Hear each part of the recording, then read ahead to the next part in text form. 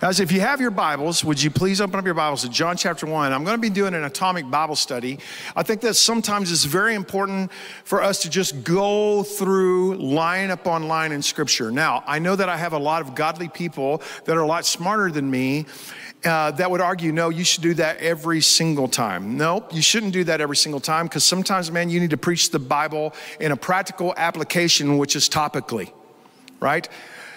Like, okay, how do we deal with stress? How do we deal with, we need to know what the Word of God says concerning those things. How do we fight the sexual battles that everybody in our generation fights? How do we, how do we do, okay, we need to know the Bible topically. But there's a problem with knowing the Bible topically, and the problem with knowing the Bible topically is that it's kind of like going back at the back 40 acres and taking a shovel, and you dig here, and you dig here, and you dig there, and you miss whole parts of the field right? So I think it's very healthy to have a discipline in your life where you say, hey, I'm going to read all the way through. Hey, here's a great place to start Leviticus. I'm just teasing. Do not start in Leviticus. Do what I tell people in prisons all over the world and say this, dude, just start with the book of John and just read the red letters. Get your red letter Bible, start in the book of John, read the red letters, Find out what the words of King Jesus are, start there, and then once you do that, go back and read the rest of the book of John and go back and do that. I, I would suggest people get like a Thompson's Chain Study Bible. Uh, I love a Thompson's Chain Reference Bible, and like why? Because I learned the Bible topically uh, because I didn't know any better when I first got saved. I was like, I wonder if the Bible has anything to say about doors. And I'd look up doors, and I learned every scripture on doors. Like why? So that I could quote the door, so that I could quote the word of God when I walked through a door. And I was just a young man, and I was like, ooh, I was a little bit more high strung than I am right now. This is the mild version of me. Mm-hmm. Hallelujah. You should have seen me. I was something else. All you guys I went to school with, y'all just be quiet. Y'all don't say nothing. I know your stories too, by the way. So starting off with the book of John, John is a very different kind of book. And John is, uh, it, it, has some different qualities than the other four Gospels does. It's an amazing book. I've done an atomic Bible study on John chapter 1 once before. I preached for an hour and never got off of verse 1. That's, that comes from my pastor, Jim Maxwell, by the way. That's what he does. He'll preach on one verse for, you know, 10 weeks. So, what I would like to do tonight is I would like to go through this as much as I can. And what I'm hoping will happen is that the Holy Spirit will speak to you tonight. What I'm hoping is that your heart will be open and that you'll hear a word from the Lord where you'll go, that was a word for me because Jesus is speaking. And right now, he's calling Pastor Gloria right over there. He's calling her. That's a godly woman, man. When, when you got the hookup, uh, she has it. Okay, so you guys ready to do this? Don't you be, don't you be embarrassed, Pastor Gloria. It's okay. It's just us. It was Stuart. Dad gummit Stuart. It's always Stuart. It's always Stuart. Here we go. In the beginning was the Word, and the Word was God, and the Word was with God, and the Word was God. In the beginning was the Word, and the Word was with God, and the Word was God. Four major points on this first verse that I want to give you is God is that John, John cuts straight to the point and says, Jesus is God. He doesn't get to it later, it's not going to be revealed later on. And he starts off, you know, with the whole, you know, Bereshit thing, the whole in the beginning, right? Everybody say, in the beginning, God. Well, he says here, in the beginning was the Word, and now he's going to introduce King Jesus as the Word of God. I, I, I love how Jesus is presented in the other gospels, but he's like, look, whatever it is that you get about Jesus, this is what you need to know. He was God in the flesh. He wasn't God pretending to be a man or a man pretending to be God. He was God who literally became a man. Somebody say amen to that. Furthermore, he is the word of God. And that was his actually name, and that was his name in heaven before it was revealed as Jesus was the Word. as it is in his true identity. It's his truest identity. The word is expression of the heart of God. And he is the expression of the Father's heart towards all creation. So when the Father wanted to create something, the expression of that was the creator, who is King Jesus, as we will discover here in just a few minutes. He's, he actually is the one that creates everything with the Word of God. So we know that Jesus has eternal communion with God. Um, Isaiah 7, verse 14 says, Therefore, the Lord himself will give you a sign. Behold, a virgin will be with child and bear a son. You guys know all that from the Christmas story. What's real is the very first promise of the Messiah, which is found in Genesis chapter 3, was that it would be of a different seed than the serpent, and this seed would, this seed, this eternal seed of God Almighty Himself would actually come through a physical woman. Well, He fulfilled that some 4,000 years later. 77 generations from Adam, Jesus Christ himself was born. And then verse 2 says, He was in the beginning with God. So, what he's saying is, this whole thing of Jesus being the Word of God is not a recent event. This is something that has always been, it's just now made manifest to us. He was in the beginning with God. This is not something that happened 2,000 years ago. This was something that happened in a time realm that we cannot even calculate. And then we didn't come to realize that Jesus was the Word of God or that the Word was also God until Jesus showed up and He was the one who proclaimed it. Verse 3 All things were made through Him, and without Him, nothing was made that was made. So, did you know that when Jesus was talking to the woman at the well, the woman at the well was talking to the person that created the water that was in the well. He is literally the creator side of God. Now, most people assume that the Father is the creator side of God, but He's not. If the Father desires for creation to be, Jesus is the one who creates it. Jesus, you know, I like to think of the Holy Spirit as being the creative side of God. And while the Holy Spirit is definitely creative, and I'm a Holy Ghost guy, guys, are there any Holy Ghost men and women in here? Amen. You ain't gonna make it without the power of the Holy Ghost. Amen. And man, you need to be doing your own study and be doing your own your own uh, self-examination this year internally and saying how much dunamis power do i actually walk in because the word dunamis is in the bible 24 and this is the 24th year but that's my conference which is two wednesdays from now amen it's a big year for dunamis power. No, but I want to I want to say this that you have to you have to know Jesus and you have to know that he is the creator, which means this, if you personally know Jesus, there's nothing that he cannot create for you. There's no situation he cannot create that you will not prosper in. He can literally create a situation where you prosper. He can create a situation where you are healed. He can also do, sometimes God Almighty will do a creative miracle and actually heal you. And then sometimes God Almighty will do a creative miracle and create a situation for you to be in so that you can be healed. But in either way, it's Jesus who's being creative. I like that. You guys like that? Verse 4 And in him was life, and that life was the light of men. And the light shines in the darkness, and the darkness did not comprehend it. Okay. I'm going to spend a little bit of time on this one right here. I passed up so much stuff already. My mind is going, please stop, and we got to talk about this, but I want to get through a bunch of this scripture tonight. And this scripture right here is, I love this. Now, it's just good to know the language of this, you know, and the light shines in the darkness, and the darkness comprehends it not, as the old King James says it, or in this case, the New King James says, did not comprehend it. Let me, let me tell you, uh, I, I think that the King James is a far superior um, translation than certainly most translations. But I also want to tell you this that does not translate to modern language. You have to know the language better than most human beings. Most human beings living today understand the language in order to understand that. Can I tell you what that means? That means it was no competition. He shined into the darkness, and the darkness was no competition. Now, I want you to think about this for just a couple of times for, um, for just a second. The first, in the first verse, he starts off, he says, In the beginning was a word, and the word was with God. And by the way, the word was God. The second one was he was in the beginning. So he's God, and he was also in the beginning. Then the third thing is, and it was the word that created all things. And then the fourth one, he says this, and when he showed up into the darkness, the darkness was no competition. Now, this is how John, this is how Brother John sets us up for the understanding of who King Jesus is. And it's fascinating to me. It's fascinating to me. I've had the great privilege of talking with people who have never even heard the name of Jesus one time, one single time. And I'm all, you're always going to be a little bit perplexed. And you wouldn't believe how many Americans have never heard the gospel of Jesus Christ.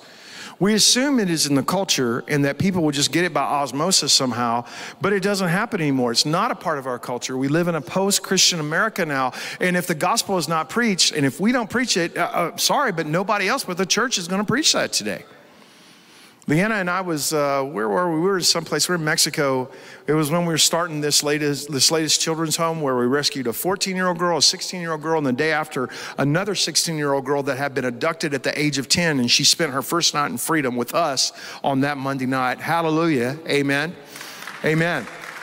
Okay, we're in the elevator, and th- this, this dude in the elevator, um, I don't know what nationality he was, but he spoke English very well, and he was an Asian brother. And he had on his arm, and it, it said, Love others the way that you want to be loved. Right? Then he had on this other arm, he had a tattoo that said, Do unto others as you would have them do unto you. And Jesus said, I'm sorry, I get Jesus and Leanna messed up sometimes. I've been conditioned that way through years of brutal abuse. So she, she, said, she says, Oh, that's one of my favorite scriptures. And he said, What scripture?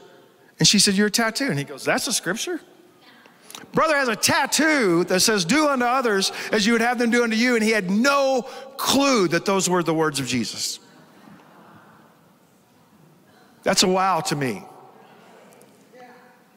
That is a wow to me. Where we were like, we were dumbfounded at it. We're like, wait, wait, well, what? Did, who did you think said that? He said, I just thought it was a cool saying. It resonated with me. And we're like, dude, check out Jesus. Because if you love his word and if it resonates with you, you need to find him in a really big way. You, you got his words tattooed to your arms. And he's like, he's like, this, no, I, this don't have anything, for me, this doesn't have anything to do with Jesus. I'm like, it doesn't matter for you. That is the word of God. And so he's trapped in an elevator with us and he can't get off. That's true story.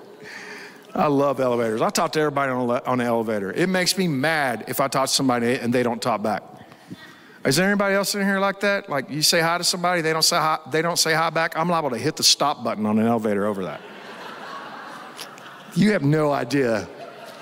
But that was a long time ago. I'm not like that anymore. I know we're going to talk. I've already talked to you. I'm a human being. You're a human being. You can at least say hello.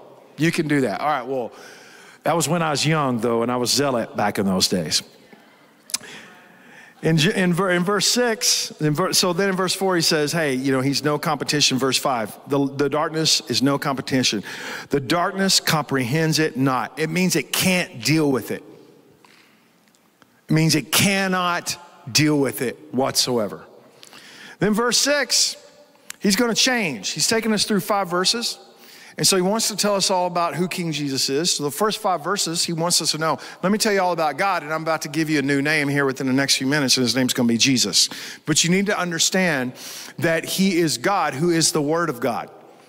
But I don't know if you can wrap your head around all that. So let me now, John changes and says, let me, let me help you wrap your head around a dude who had a divine mission. So now we're going to change from Jesus to talking about John the Baptist. And then here within the next few minutes, he's going to put it all together. So he could have started off, apparently John wanted to start off his story with, okay, there was this day when John the Baptist was out uh, baptizing people and Jesus showed up.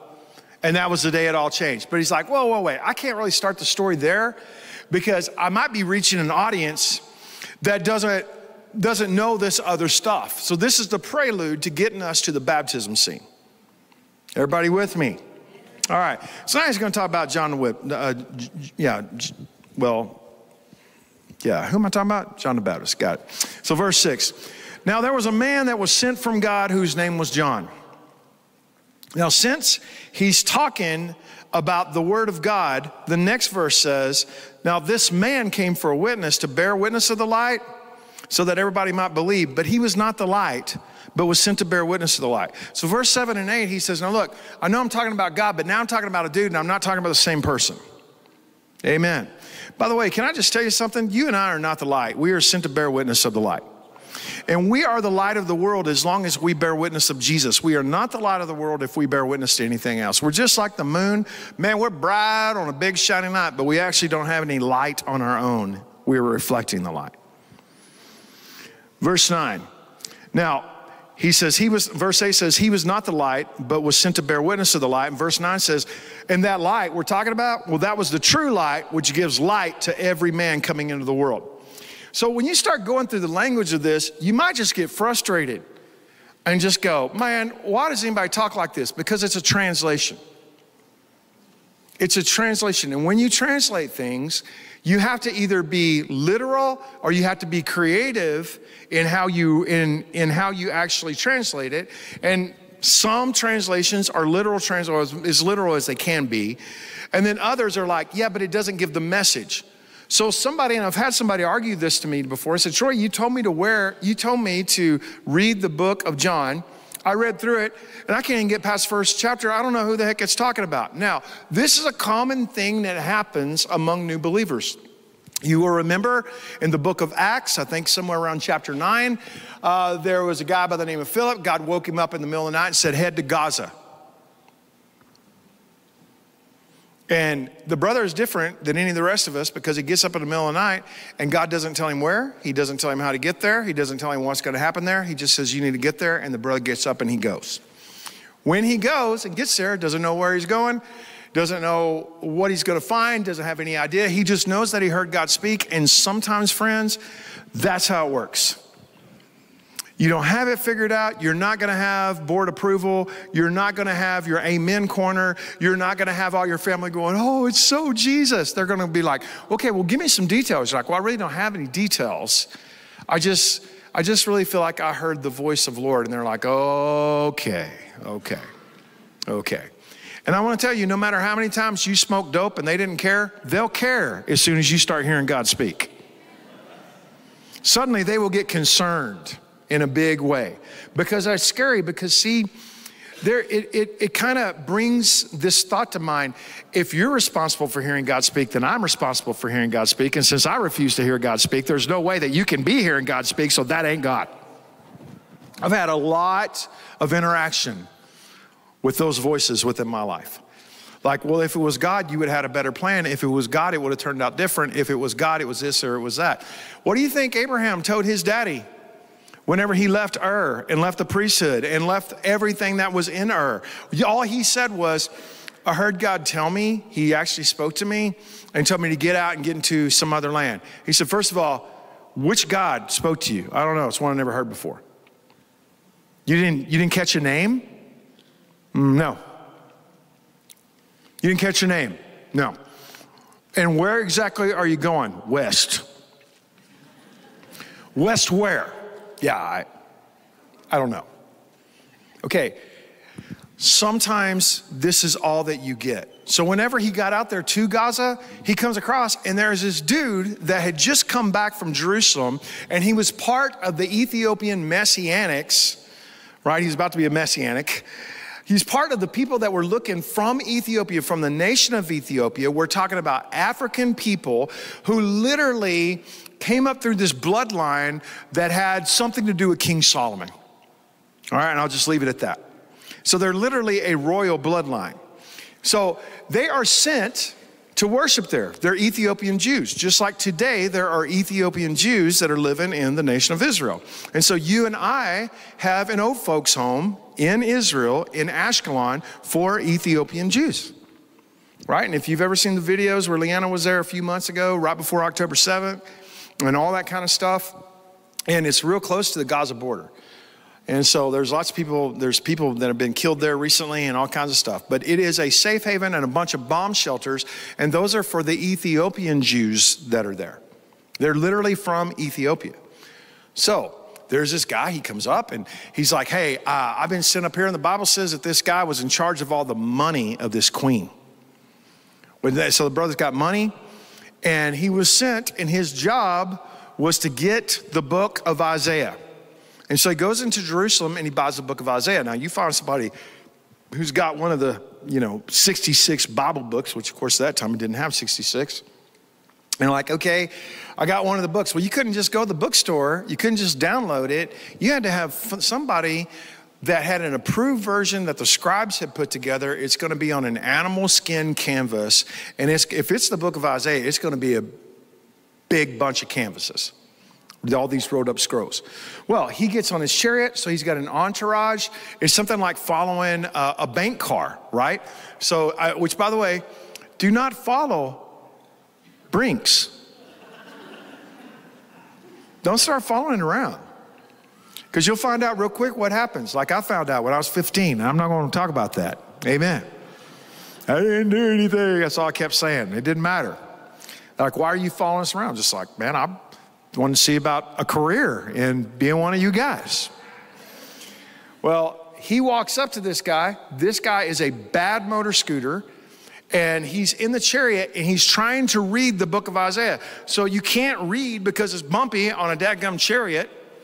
And so the fact that he's on a chariot tells me they're loaded for war. So they must have looked scary when Philip came walking up. Whoa.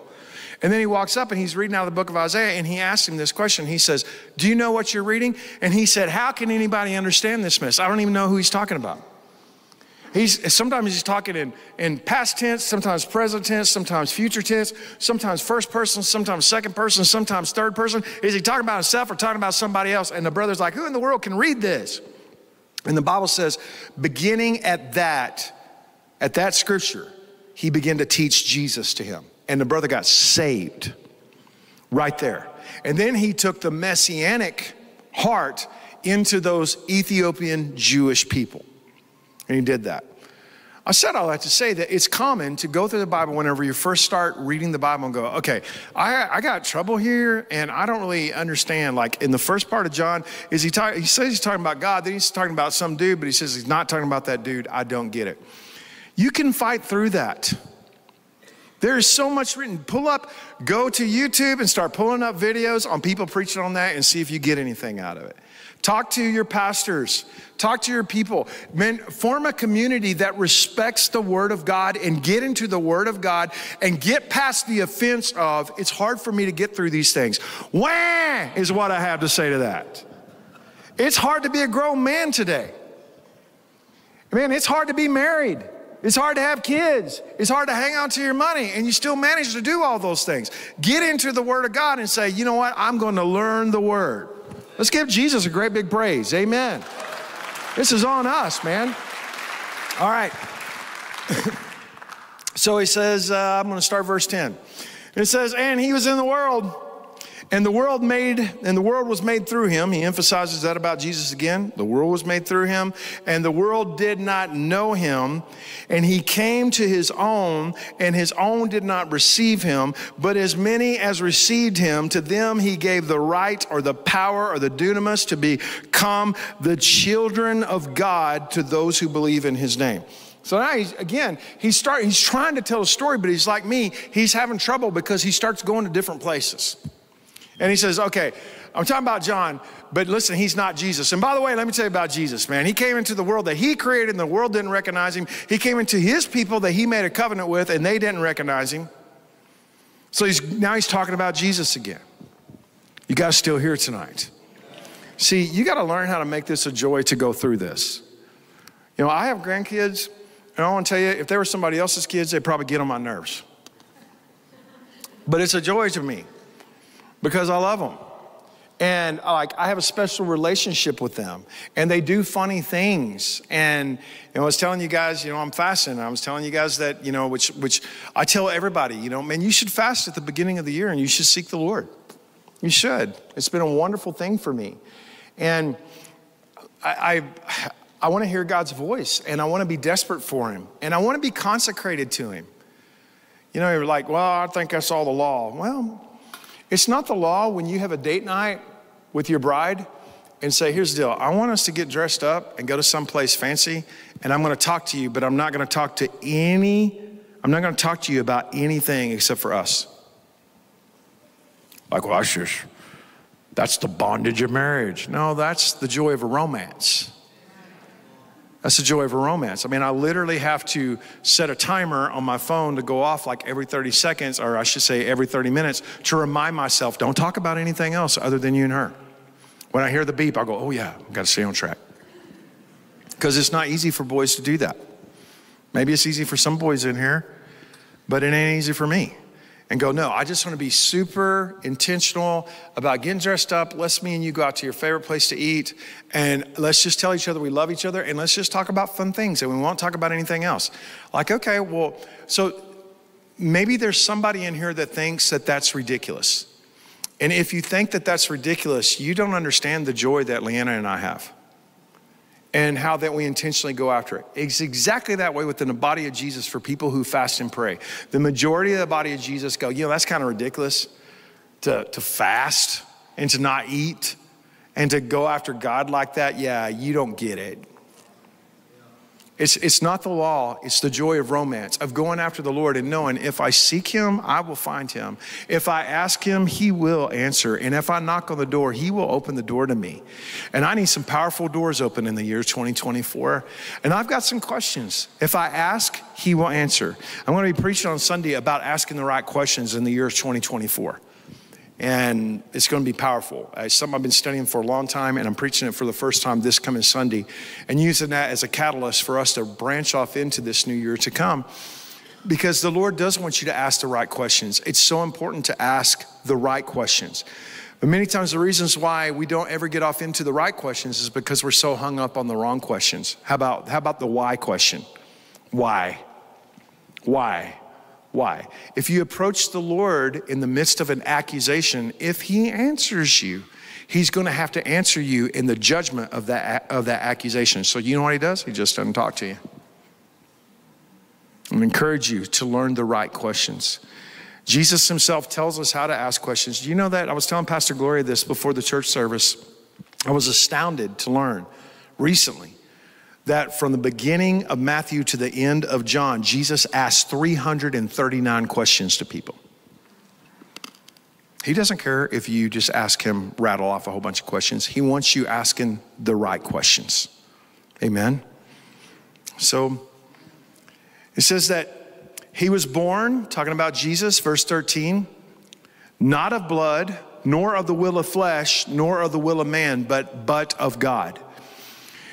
Jesus is not man's idea. Jesus is God's idea.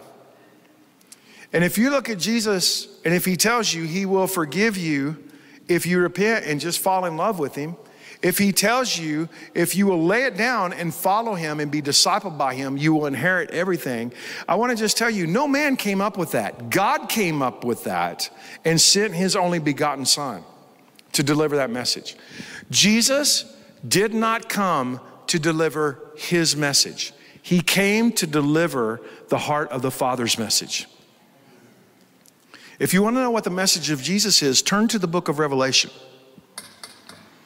The message of Jesus in Matthew, Mark, Luke, and John is the message of the Father towards humanity. Amen. It's the Father revealed through Jesus. The book of Revelation is Jesus being revealed. And friends, I want to just tell you this he ain't coming back as a hippie. Everybody thinks he's going to come back be the sweetest person in the whole world. he's not coming back to be nice. He's tried nice for 6,000 years and hadn't worked very well. He's going to come back and be the Messiah that the Jews thought he was going to be the first time. It's, it's, it's a lot like Psalms 24, uh, Uh, which we'll go over this Sunday, where it says, you know, who is the King of glory? The Lord, the Lord mighty in battle. Who is the King of glory? He's the one who defeats our enemies. Yeah, that's how Israel is going to recognize Jesus when he comes back the second time. They didn't recognize him the first time, but they will recognize him the second time. And all of Israel shall be saved. Amen. I love the word of God, man. I think it's so cool. Well, he wasn't born of blood, nor of the will of flesh, nor of the will of man, but of God. And then verse 14 it says, And the word became flesh and dwelt among us, and we beheld his glory, the glory as of the only begotten of the Father, full of grace and full of truth. Okay, we can spend the rest of the day just being blown away at these words. The word became flesh. And we can spend a lot of time on that. But one should always contemplate to be filled with childlike wonder at the eternal making himself subject to all things that are not eternal. Like, why? Because of you sitting right there in that chair, watching on television, listening on the radio right now. Because of this joker that's standing up here behind this pulpit. Because he wanted us. And he's like, I'm going to go get him. And I'm not going to go get them as God in heaven. I'm going to get them as God in humanity. It's remarkable to me. John chapter 14 goes on to say, in the 14th chapter, he says, Look, if I go to prepare a place for you, I will come again and I will receive you to myself, that where I am, you may also be. So to live together in unity is always the desire of God the Father. It is his greatest desire, friends, is that you be okay with him and him be okay with you, and for, and for the two of you to be able to sit at the same table. And that's mind blowing to me. We think in our own religious mentality that the reason why God Almighty has saved us is so that He can put us to work and uh, we can be awesome servants. I want to tell you, you will never do the service of an angel.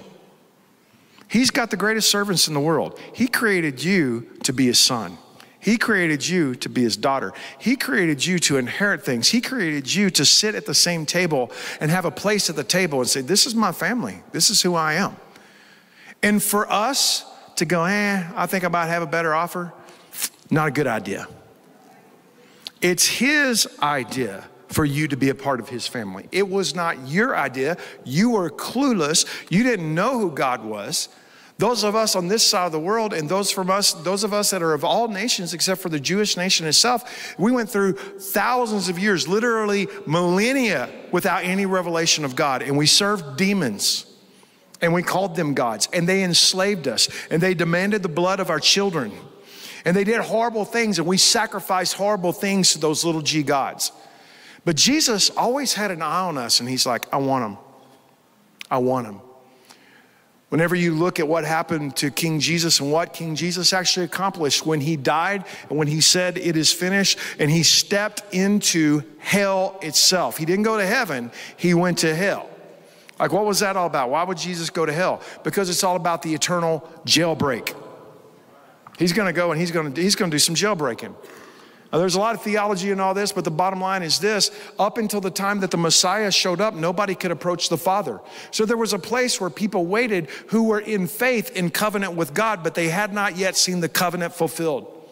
Jesus describes it in his parable of Lazarus when he actually says, you know, there was a place that was in hell where they could actually see the torment of hell, but they were not tormented.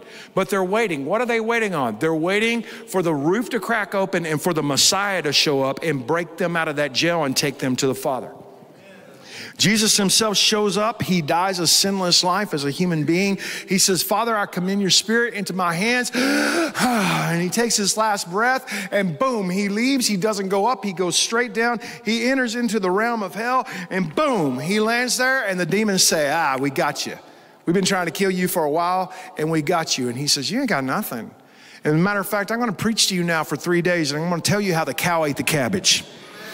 I'm going to preach to you the same exact way that Noah preached to the demons for 120 years. I said, let me tell you what's going to happen, how it's going to happen, when it's going to happen, and it's right now. And I know that you devils are waiting on some kind of a jailbreak where you can get out once again and rebel against God. And indeed, God Himself will take these keys that I'm about to take away from you and come down here during the tribulation, open up the pit and let you out to torment the earth for a while during the tribulation. But I want to tell you something, son, there ain't going to be no jailbreak for y'all, but there is going to be a jailbreak for them.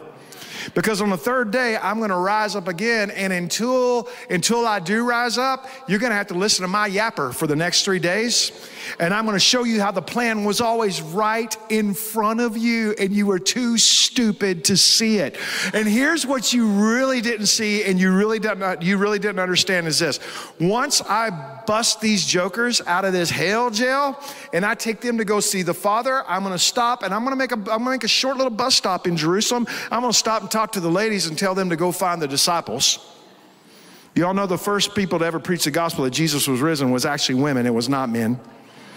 So they go and they go to go tell the disciples, uh, yeah, uh, the risen Lord, uh, he's like, hey, he's actually alive and all that. And they stopped. And by the way, the Bible says one obscure verse, one weirdo verse in the New Testament says, and many were raised from the dead and they went and visited their family and walked around town. What's that all about? It's the bus stop on the way to heaven.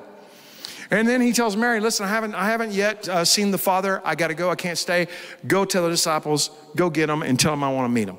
And then boom, he takes off. He takes everybody with him. But here's the deal. And then he comes back immediately and he spends 40 days with the disciples before he ascends again. And then he actually says this crazy thing, this crazy thing. He says, it's better for you if I leave. How could it possibly be better for any of us if Jesus actually leaves? He says, because I'm going to send my spirit. See, God Almighty is God.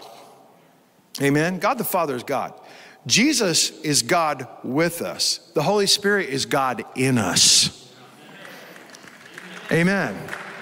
And he said, Look, the same resurrection power that I resurrected, I was resurrected from the dead, I'm going to put in you, and you guys are going to be a bunch of bad motor scooters because I got a new job for you.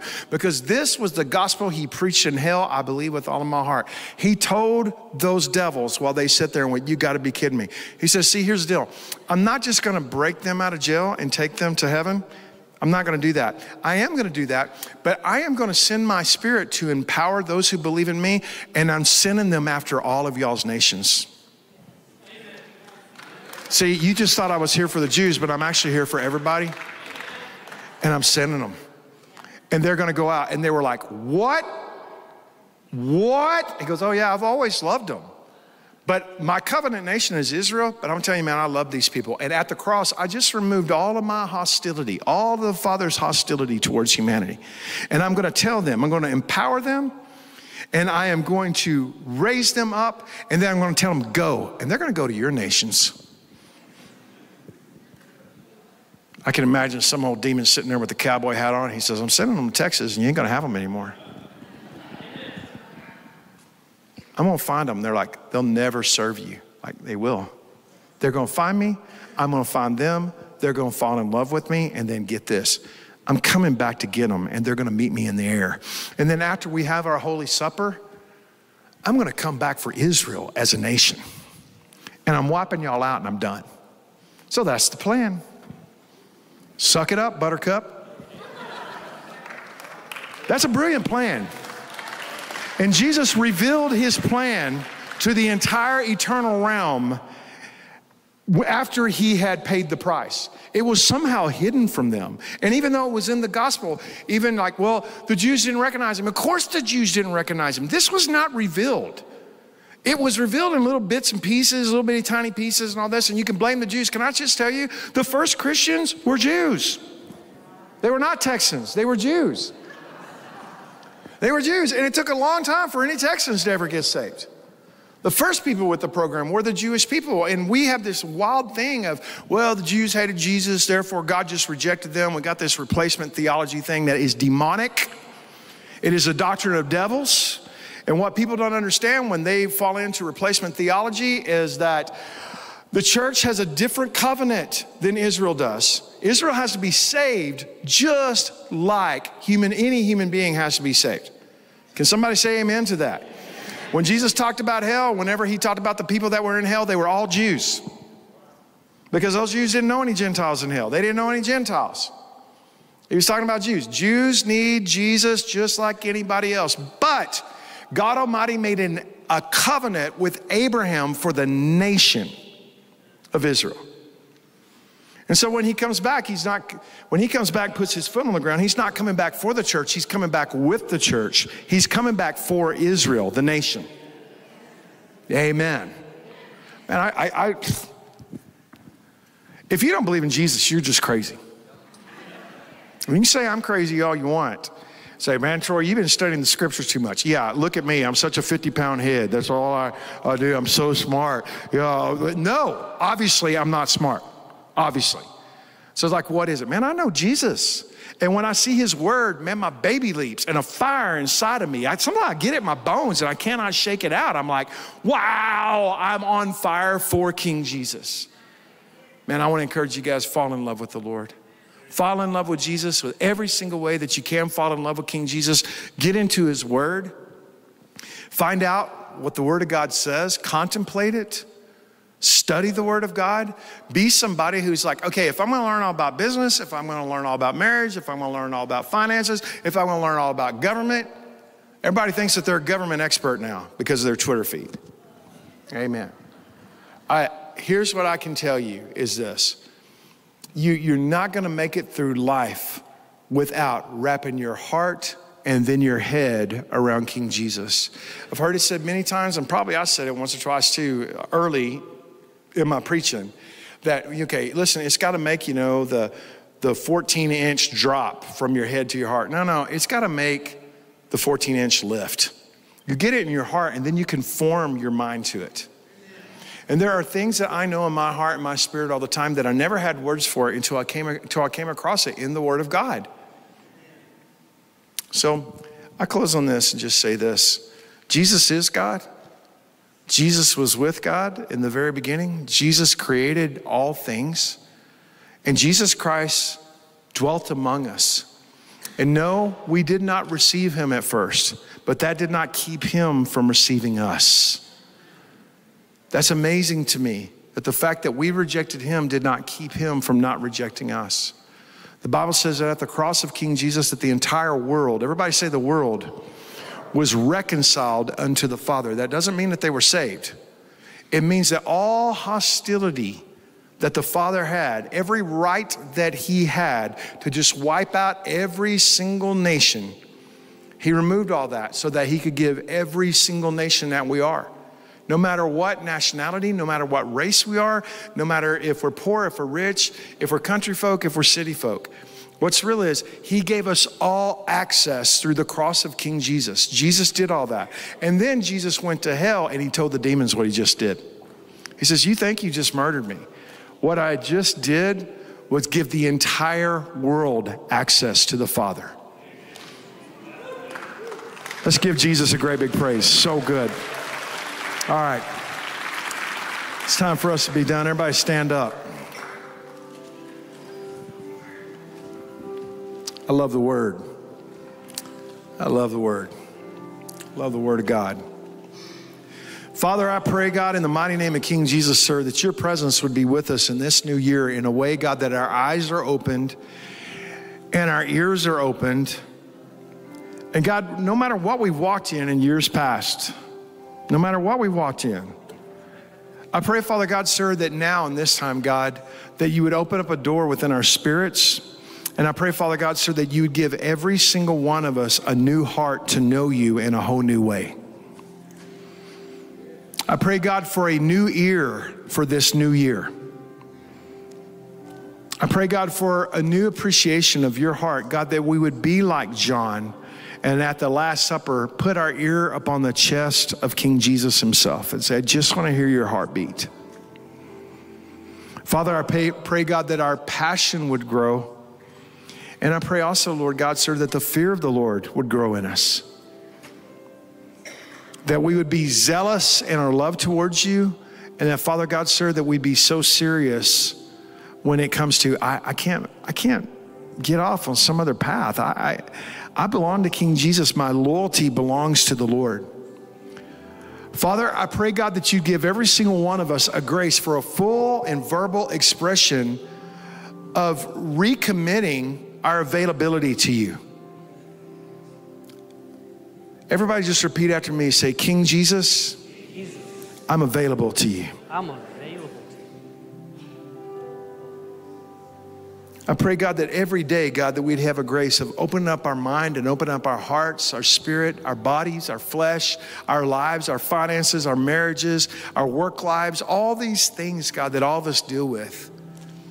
I pray, God, that we'd be so available for you to step foot and breathe your breath of life and make manifest your Holy Spirit and bear the fruit of the Spirit in every single part of our lives, Lord.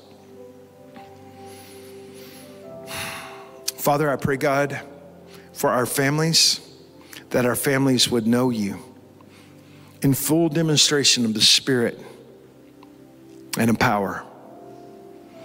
I pray, Father God, sir, that our minds, however we have allowed our minds to be programmed through all kinds of terrible things, God, that we let enter in through our eyes and the things, God, that we contemplate that is not you in any way.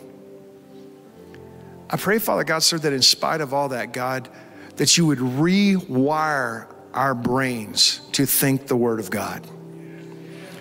Father God, I pray, God, that you would cause your Holy Spirit to resurrect our hearts and call our and cause our hearts to beat the love of God. I pray, God, for the works of our hands, that all that we do, sir, that all that we do, all that we do, would prosper and would glorify you and be something that becomes an asset for the kingdom. And Father, I love you, sir. I love you, God, and I praise you and I thank you, Lord, in this new year. Guys, so everybody's got their just their their heads bowed, their eyes closed. Just keep this a holy moment. I don't want to dismiss here tonight on this first Wednesday of the new year without asking, is there anybody here just right there where you're at? You say, tonight, I need to receive the Lord Jesus. I want you just to raise your hand. Awesome. That's great. Hallelujah. I want to ask my brother and everybody that is here, I want you guys to say this prayer with me. Say, Father God, I need you, Jesus. Please forgive me. Please receive me and fill me up with your Holy Ghost. And from this day forward, I belong to you and you belong to me in Jesus' name. Amen. Guys, let's give the Lord a great big praise. So good. So good. Well, the Lord is moving. It's a good year, guys. It's a good year. It's not an easy year, but it's a good year. I want to be unpacking prophetically the year to come at the New Beginnings Conference, which is not this coming Wednesday, but the next Wednesday. Next Wednesday, Leanna and I are going to get up here and preach together, and that's going to be next week.